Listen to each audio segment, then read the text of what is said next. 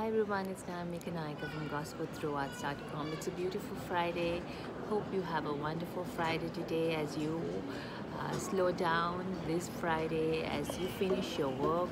I pray that God will favor you. And as you begin your Christmas holidays with your family and your loved ones, may God guide you and lead you and protect you every step of the way.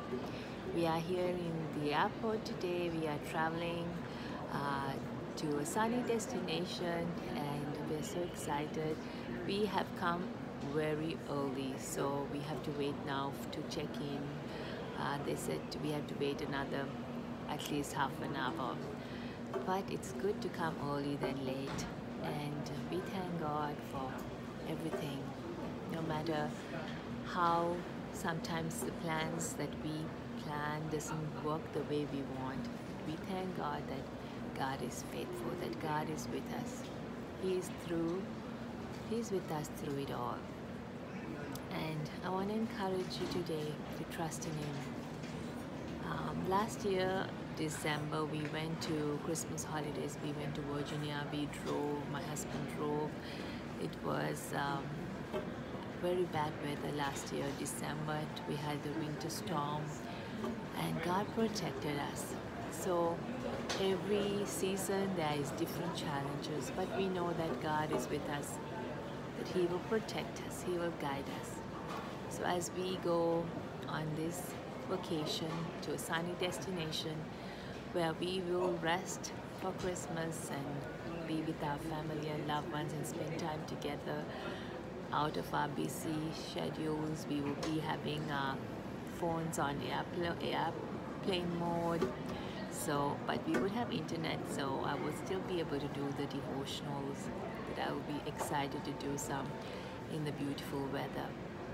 Uh, we have had good weather here in Toronto as well not too much snow and uh, nice warmer uh, not too cold as well so it's been a blessing. But God is with you my brother and sister no matter what you might face. So as you prepare for your Christmas holidays. Maybe you might be traveling, maybe you might be staying home, maybe you're preparing all the meals, whatever that might be.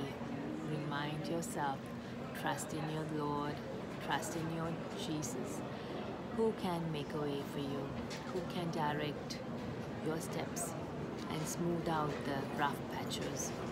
Last uh, night we had our children. Uh, children had, uh, my son Daniel had a Christmas concert where I attended. I was so proud of him that he performed really well with his classmates. God is so faithful.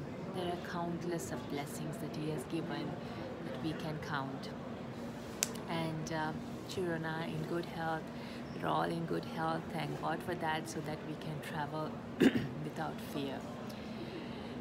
And uh, as we, the six of us, go rest and come back again, we know that God will be with us. And no matter what you will do this Christmas season, wherever you might go, trust in Him, depend on Him. He is the pilot of your life. He will direct you.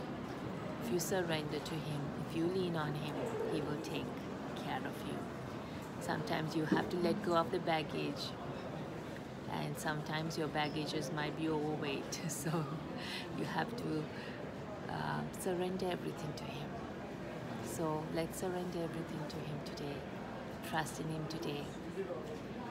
Uh, as we get ready I pray and I and I hope that you have a wonderful Christmas. I will talk to you soon. Hosanna wait one second um, I will talk to you tomorrow again and as I do the devotional I would have I come carrying my Bible with me so we would read the scriptures together and study the word together. We would have more free time tomorrow. So have a wonderful day my brothers and sisters this Friday as you finish work as you start this morning and as you journey to workplaces finish your last day of work as you begin your weekend you begin your Christmas holidays. May the Lord be with you.